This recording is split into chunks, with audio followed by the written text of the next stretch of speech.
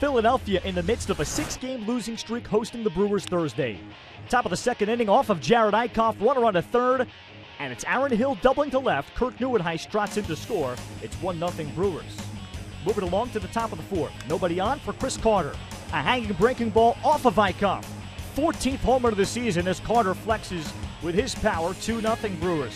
Bottom of the fourth inning, Maikel Franco off of Chase Anderson. This is a solo shot. Laser out to left, his ninth of the season, 2 1. Bottom of the fifth inning, Chase Anderson to Freddie Galvis. In comes Kirk Nieuwenhuis on the diving grab to take a hit away.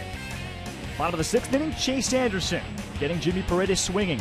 Paredes would strike out three times in the game.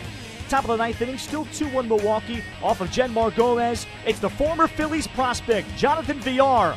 A two run shot for some insurance, 4 1 Brewers, and that would be the final. Jeremy Jeffress picks up his 14th save in 15 opportunities. Seventh straight loss for the Phillies. Friday night, the two teams at it again. From Milwaukee, right-hander Jimmy Nelson at 5 and 3 will throw against the Phillies' Vince Velasquez, who comes in 5 and 2 with a 3.63 ERA.